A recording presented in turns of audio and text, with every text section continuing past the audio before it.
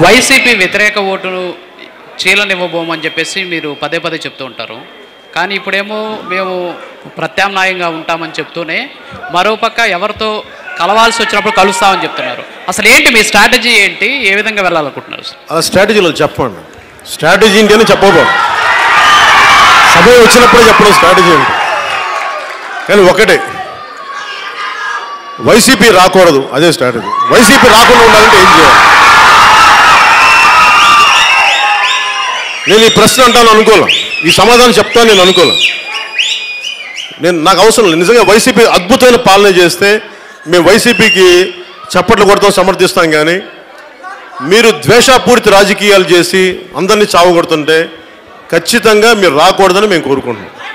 So దాంట్లో మీరు అడిగిన దానికి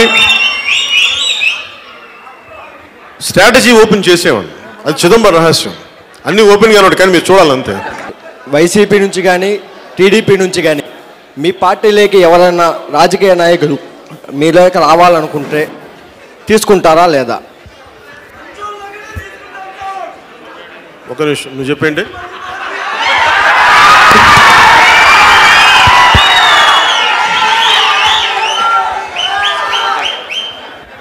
ఒక్కడే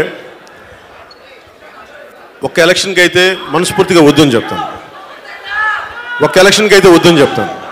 కానీ మీరు మాతో ప్రయాణించాలి అని అనుకుంటే ముందు మా వాళ్ళందరికీ మీరు గౌరవం ఇవ్వాలి. మా వాళ్ళని గుండెల్లో తీసుకుంటే అది ఓకే కదా. మా వాళ్ళకి మర్యాద ఇచ్చి మా వాళ్ళని ఏదో వాడుకునే వస్తువులాగా తీసుకుంటే దయచేసి నేను ఒప్పుకోలేను మా వాళ్ళు ఒప్పుకోరు అది ఎవరికి ప్రయోజనం లేదు. నేను కోరుకునేది ఒకటే బా నేను కోరుకునేది ఒకటే. నేను ఆంధ్రప్రదేశ్ భవిష్యత్తు కోసం మీకు ఉపాధి అవకాశాలు రావాలి ఉద్యోగ అవకాశాలు రావాలి ఆడపడుచులకి భద్రత ఉండాలి వారికి స్వయం ప్రతిపత్తి ఉండాలి వారికి ఆర్థిక సాధికారత ఉండాలి. పెన్షన్లు మీరు మా పార్టీకి వేస్తేనే పెన్షన్లు వస్తాయి మిగతా పార్టీకి వేస్తే రావు.